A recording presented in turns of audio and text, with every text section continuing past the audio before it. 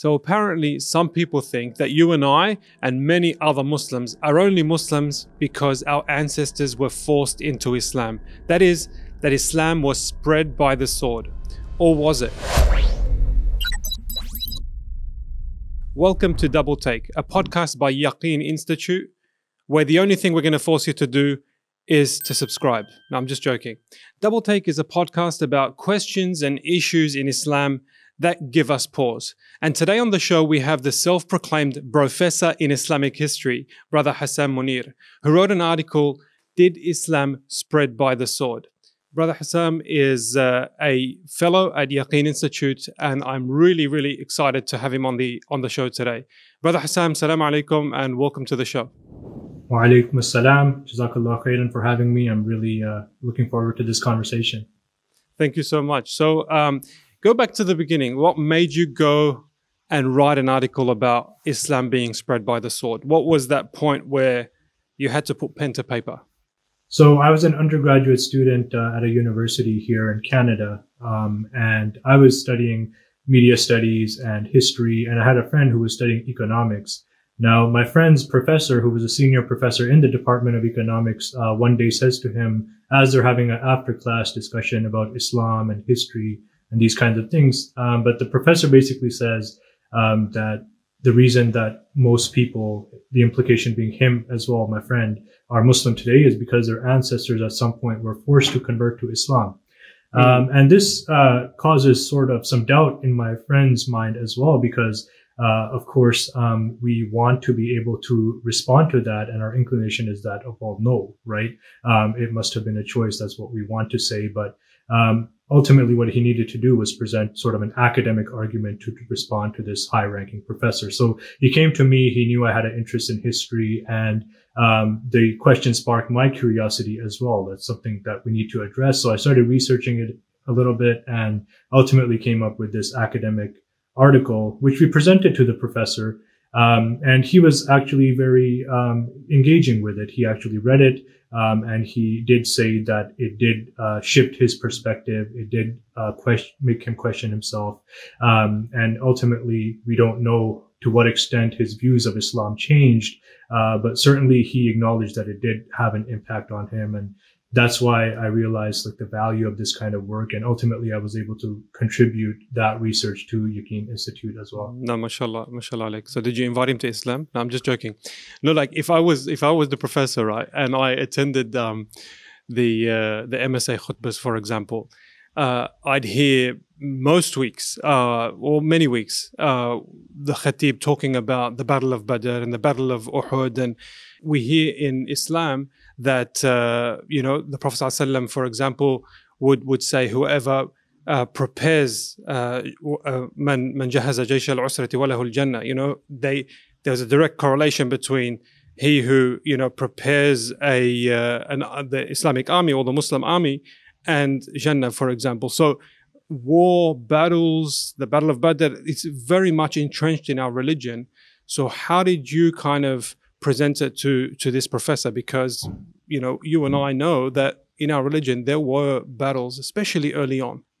Um, well, what I certainly wasn't trying to express to the professor, or what I think Muslims shouldn't be trying to express, is to kind of downplay the role that um, battles, wars, um, violent conflicts have played in Islamic history, including in early Islamic history, um, which is sort of the model during the life of the Prophet sallallahu alaihi wasallam that all Muslims turn to. Um, there were certainly battles, there were certain the acts of violence, right? And in every hmm. society, mm. um, in every worldview, in every deen, um, there is a sort of set of uh, criteria of what is justified war, what is justified violence um, for uh, the greater good of society, right? For the establishment of justice, these kinds of things have to be um, uh, done and and practiced. So in Islam, there is certainly conflict. There's are limitations on conflict. There are very specific reasons why conflict can occur, and the battles of you know Uhud and Badr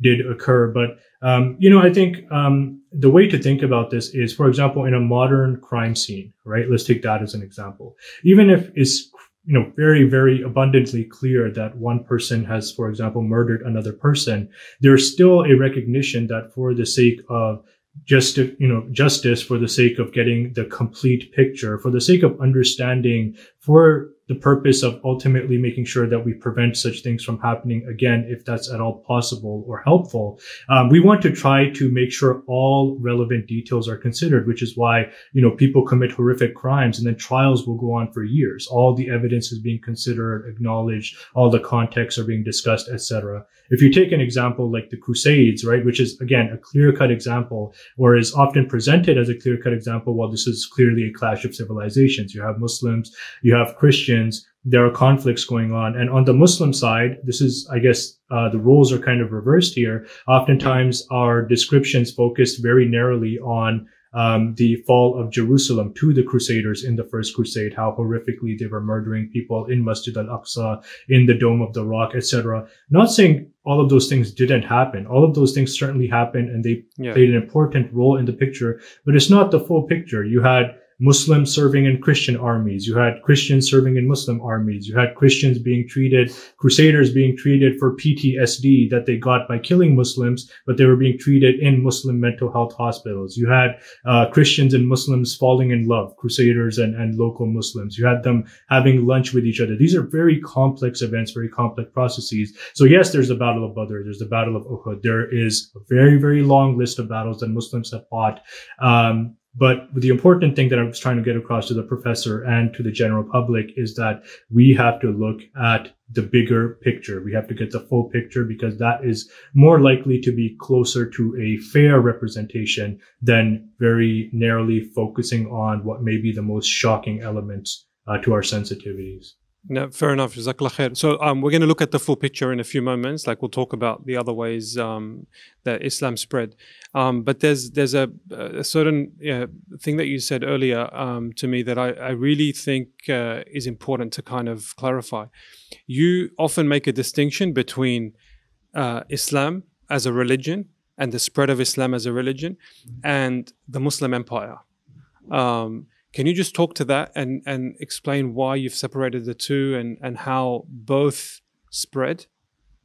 Um, yes, absolutely. So uh, you know, you'll often see in these digital animated maps and things like that that go around on the internet. Um, mm. You'll see like this religion at a certain point of time, Islam suddenly appears on the map in Arabia, like a small little blip. And then all of a sudden, boom, it's everywhere. It's in Spain. It's in India. It's in West Africa. It's just moving very, very rapidly. Right. And people, often interpret that as well. Um, this must be showing that everyone in these regions was becoming Muslim, and uh, the only way that could have happened so quickly is if there's some kind of force or coercion or some kind of violence involved, right? Um, and and that's the misleading part because this is showing the spread of the Muslim empire, not the spread of the faith itself, such as the fact that you know ideologies can spread, right? So you know a a certain uh, country, for example, today in the modern day, to give a modern day example, might have like a uh, a democratic government. That does not mean that every person in that country uh, agrees to democracy or it has accepted democracy as um, their personal way that they believe that society should be organized. Right, as an example as a sort of parallel. Um, so if you take many historical examples, another famous example that you'll often hear about, um, and I think it's very clear cut, is um, the Battle of Manzikert or Malazgirt uh, by Sultan Alp Arslan of the Seljuk Empire in 1071. Now, this battle is always said, the first thing you'll hear is the name of the battle. The next thing you'll hear is that it opened Anatolia, what is modern day Turkey, to the Turkish people. That became the, the battle was the turning point after which Turkish Turkic people began to settle in what is now Turkey. And today, today Turkey is, of course, a, a Muslim state, right? But again, it can be very misleading. That was one particular battle with one particular context. There were reasons why it was fought um, by both sides. A very complicated situation. Yes, it had a certain effect. Yes, it did facilitate to some extent the mobilization of um, Turkic tribes into Anatolia, but mm. the process of Anatolia becoming the Muslim land that we know it as today was so complex. You have traveling scholars playing role like Jalaluddin Rumi, like Ibn Battuta, right? You have uh, poets like Yunus Emre playing a role. You have organizations like the Ahi societies. Like if you actually go into this Turkish history,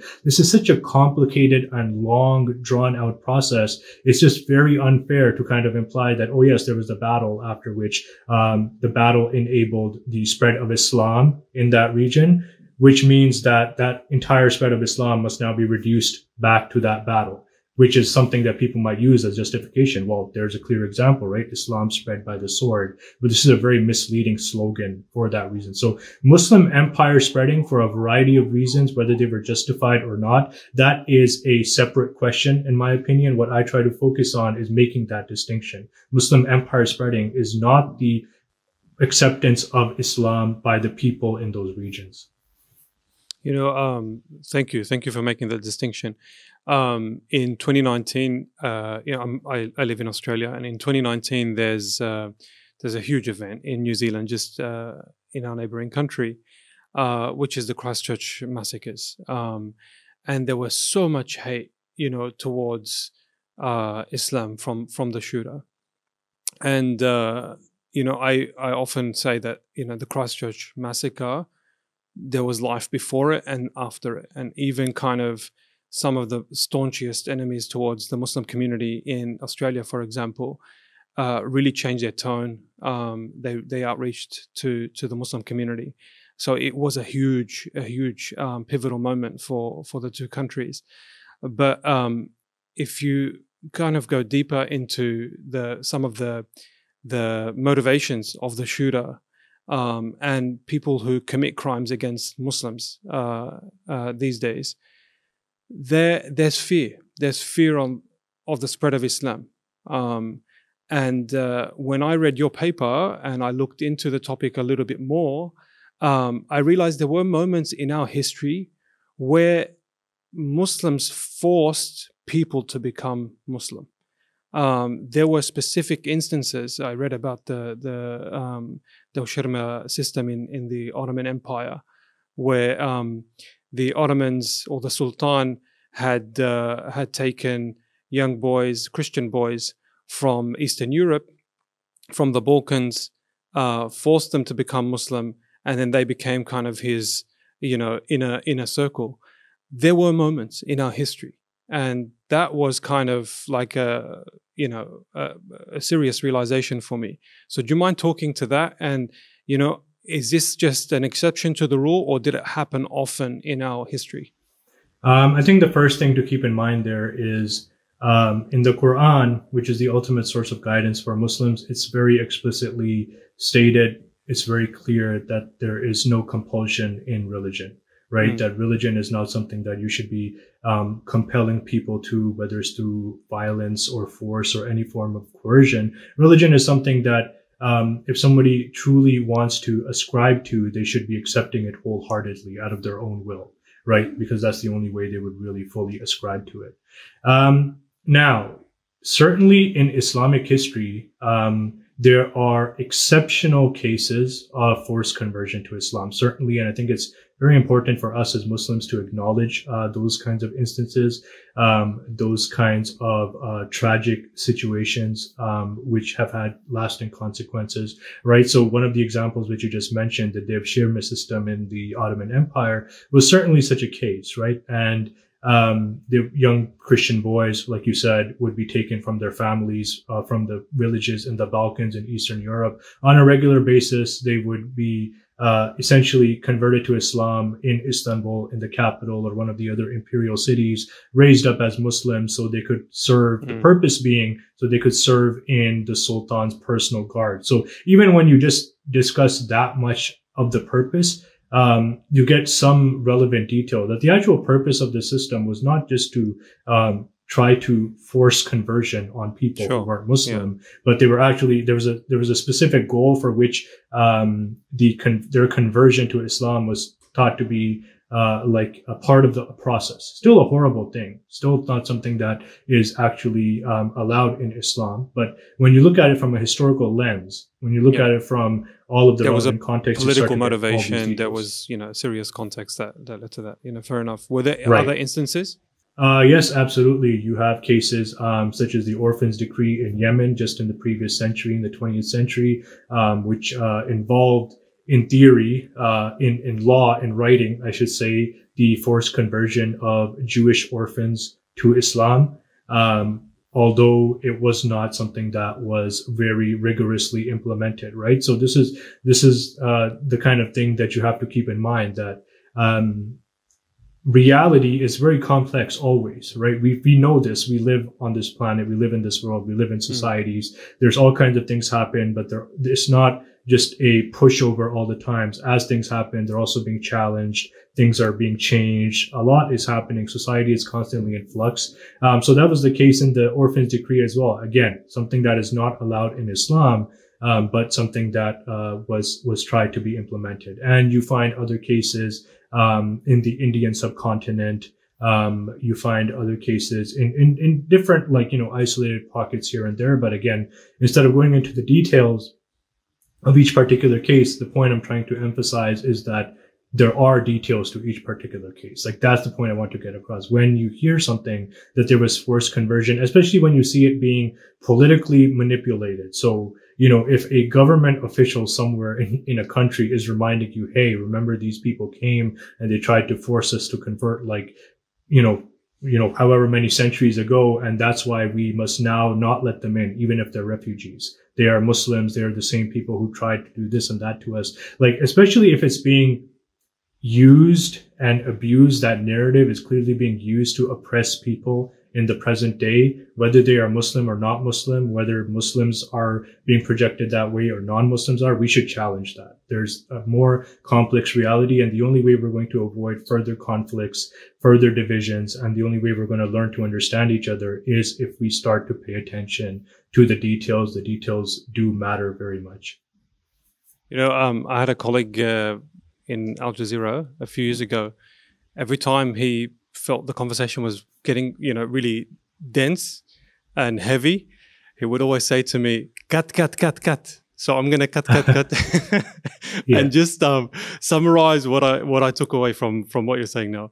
Uh, was Islam spread by the sword? It's important to separate the Muslim empire, which grew, you know, within within a century, grew from east to west, mashallah, and the is the Islam as a religion um, and Islam as a religion was was never spread by the sword, as I understood. Uh, there were specific instances where people were forced into uh, Islam. Uh, that is, you know, the Ottoman, uh, Devshirme system. There was the uh, the orphan decree in Yemen. Um, but Islam as a religion was never forced onto a nation or forced onto a people. And the proof of that is that as the Muslim empire grew, Islam as a religion didn't penetrate those uh, those uh, nations and countries until way later, and in some instances, it just didn't, you know, reach uh, or or people just didn't take it on. You know, I'm I'm Lebanese, and there are uh, many non-Muslims in uh, in Lebanon, even though uh, the whole region was in the control of the Ottoman Empire. So um, that that's what I've taken so far. And correct me if I've uh, if I've misunderstood you. Um, if you were to write a book uh, and uh, dial up the other ways that Islam as a religion grew, and even the Muslim Empire, uh, how it grew, what would you um, shine light on? Uh, you know, what is it that you feel uh, is missing when we talk about Islamic history being spread? Uh, that, that's a really good question. I think um, the first uh, you know thing I would try to address actually is why is this question being asked, right? Which is something that is important to interrogate. I think when this question is being asked, when this narrative is being circulated, why? Um, the second, uh, or I guess after that, what I would discuss is um, a series of factors that I believe, based on the historical research that I've done, um, and also based on the historical research of many other historians, is uh, are the key factors that have helped um, Islam spread to different regions of the world. These would include um, intermarriage. These would include trade. Uh, these would include um, the the role of social influencers. Um, this, these would mm. include migration, right? Um, and certainly these would include da'wah itself, this kind of um, beautiful uh, part of the Islamic tradition of inviting non-Muslims and Muslims as well to engage with the message of Islam um, and to try to choose it for themselves, to accept it for themselves as something that will bring them benefit in this life and the next. So Muslims have also always been encouraged to do that. It's, it's considered a very meritorious deed and in many different roles, in many different ways, like almost as a way to say countless different ways, they've tried to do that within their own lives. So I'm, I'm a Muslim in Indonesia, say, and I'm listening to this uh, vodcast and you know, I'm asking myself, how did my ancestors ancestors become Muslim? So, what's your answer to that? Like, I know the Arab Peninsula, you know, in the first hundred years after the Prophet ﷺ, you know, was was spread very, very quickly. There were battles and whatnot. How about outside of the Arab Peninsula? Um, in Indonesia, for example, what would you say to that young person in Indonesia trying to, you know, recall from their ancestors who how they became Muslim?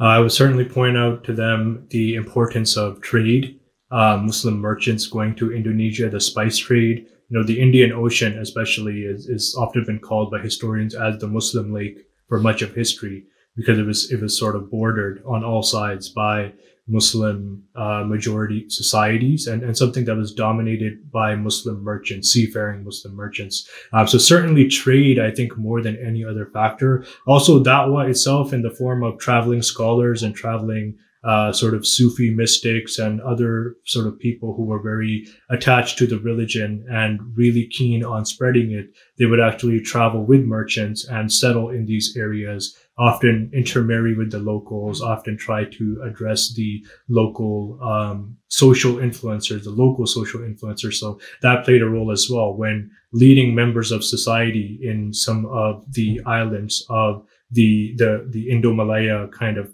you know context when they were converting to Islam, that became a form of encouragement for many of the followers or people who looked up to them. So I would say it's a very complex process, but trade um, definitely traveling scholars and Sufi mystics, as well as uh, the role of local social influencers, um, were some of the primary um, uh, factors, and and that's where you start looking, right? It just helps for that person. It's like I'm not giving you the answer. I'm giving you sort of a guidance on how you might look for the answer. So now maybe you want to look into the history of trade between um, India and Sri Lanka and the people of Indonesia and see how that connection came, etc. Right? Outside of the the Arabian Peninsula, uh, when Islam spread, it didn't really change the culture of the people that it um, that it spread to. You, uh, is there a story or two that comes to mind when you when you think of Islam spreading beyond the Arab Peninsula?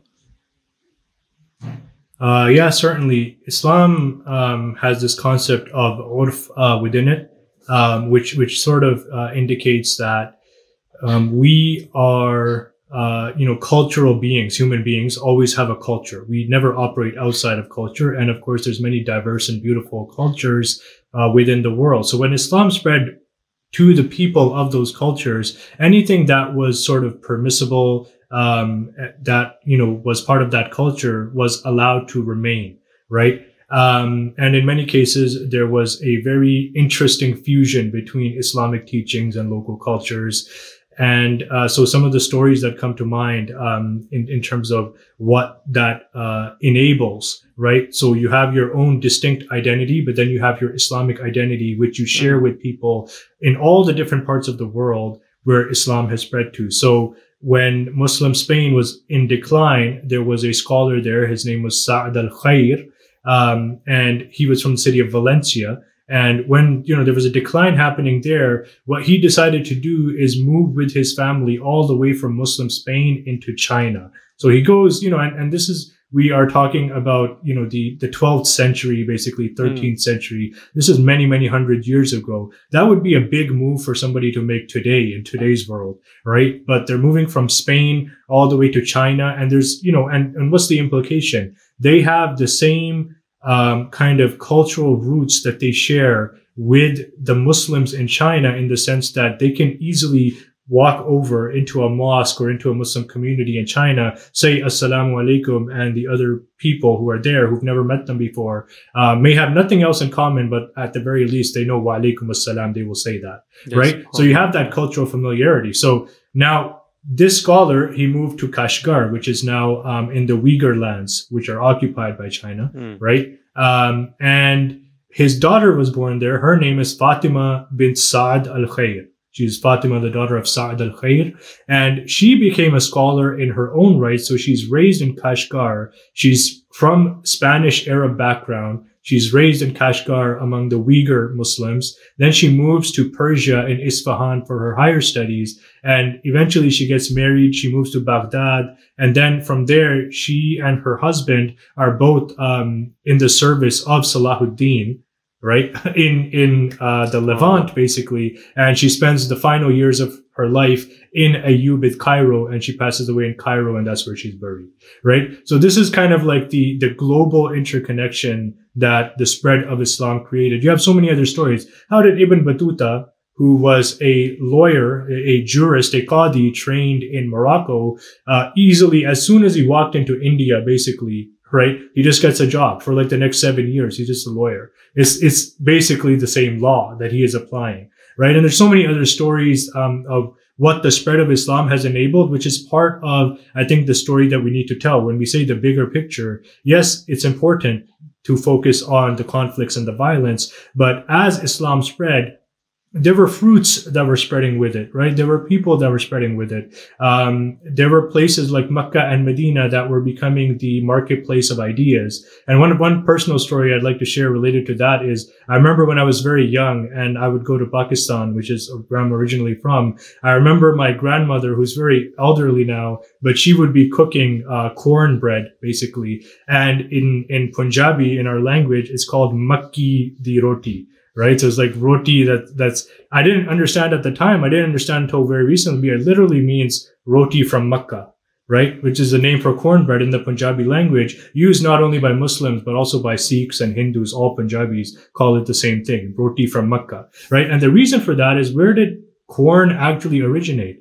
Corn actually originates in Mexico, right? And when the uh, inter-Columbian exchange happened, right after the Europeans' arrival, they brought corn to Europe. It went to the Ottoman Empire. It went to Mecca, and somebody learned of it from Mecca and brought it back to India. And all over South Asia is still referred to as the roti from Mecca, right? So uh, coffee is another example. Coffee would not have spread to anywhere across the world if it wasn't um, brought from Ethiopia to Yemen and then to Mecca, and if it wasn't imp- approved sort of by the um, the law the, the Muslim jurists in Mecca. Right, so there's all of these you different know, I'm kinds make of examples. Muslim jurists, Alhamdulillah, ya Alhamdulillah, I will as well. Right, but but the point being that when we talk about these things, I mean, it, what are the aspects of modern life that we enjoy today. I mean, your cup of coffee. The tulips is something that the spread of Islam gave to the Europeans, right? Especially if we focus on the movement of knowledge and ideas and products from the Muslim lands into Europe and from there into what we refer to now as our modern lives, so much of it is also tied to the spread of Islam. So, you know, when we talk about the spread of Islam, why is it always only about the sword? And we're not talking about coffee or tulips or oranges or corn or, or, you know, medical knowledge or all of these different kinds of things. You know, um, random, random story, right? But if you don't mind me sharing it, I was in Kuwait um, just on a visit to a few friends, and we were walking in the old um, old town. And then I saw a masjid called Masjid al Hindi, the Indian mosque. And so I asked my Kuwaiti friend, you know, what, what's the story behind this mosque? He said, uh, uh, early in the in the 20th century, um, some Indian traders came to Kuwait, and they were giving dawah to the Kuwaitis and they funded this mosque. and uh, he said the way I found out was I was uh, I was with my grandfather in hospital, and, and, he was on his deathbed, and he saw the way I was talking to um, to one of the I think it was a nurse or or one of the um, the helpers, and uh, and he didn't like my tone towards and that that guy was from from India. He said, "Don't you dare talk to them like that." Uh, I said, "Why?" Um, he said, "When when they came." in the 40s to Kuwait and I met them, they they came to my home and they brought me uh, bananas, and I was eating the banana. It's the first time I ever saw a banana, and I was eating the banana with with its actual uh, skin on. And the guy taught me how to eat a banana. He said, "Don't ever look down." They came and gave da'wah to us, and they built our mosque. You know, subhanallah. So, like, I I agree yeah. with you that um, you need to kind of look at the full picture, look at the ways Islam was spread, um, and trade played a very, very big role. Dawah played a very big role. Um, the uh, you know the social influences, the the, the high kind of um, net worth individuals who donated, they they played a big role. So it wasn't uh, Islam as a as a religion was not spread by the sword. There were some in, some instances where you know, there were forced conversions, and we've explained those. But Islam as a religion was spread by so many different factors, and I think it's it's time we turn up the volume on on those factors which um, which led to people becoming Muslim. Um, I have uh, one last question before we wrap up.